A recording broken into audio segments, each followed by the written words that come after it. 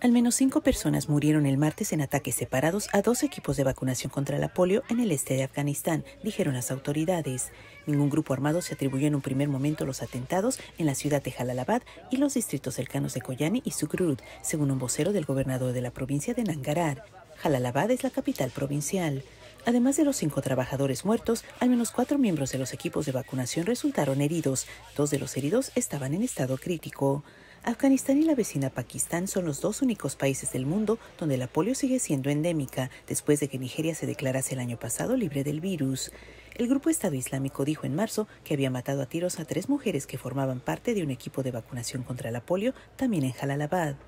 Aunque lidia con una tercera ola de contagios de coronavirus, el gobierno afgano ha iniciado una campaña para vacunar a 9,6 millones de niños contra la polio con ayuda de UNICEF. Afganistán reportó en 2020 54 casos nuevos de polio.